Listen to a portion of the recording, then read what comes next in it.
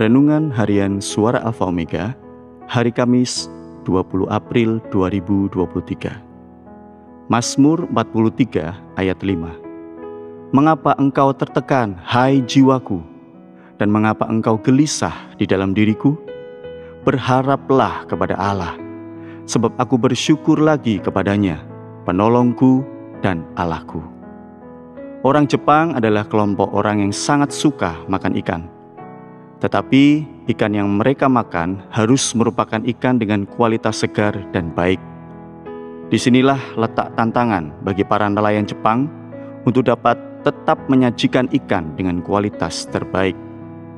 Cara yang dilakukan oleh para nelayan Jepang adalah menyediakan tong-tong untuk menyimpan ikan hasil tangkapan yang berisi air dan hiu kecil. Jadi, ikan yang ditangkap akan terus bergerak dan tetap segar. Tuhan mengizinkan masalah dan tekanan dalam hidup ini agar kita terus bergerak, mencari, dan berharap kepada Tuhan. Sama seperti pemazmur yang mengalami tekanan dalam jiwanya, namun dia terus berharap kepada Tuhan. Kadangkala tantangan dan permasalahan yang Tuhan izinkan itu baik bagi pertumbuhan iman kita, membuat kita bergerak dan mencari Tuhan. Pemasmur mengajarkan untuk tetap berharap kepada Tuhan dan bersyukur lagi kepadanya.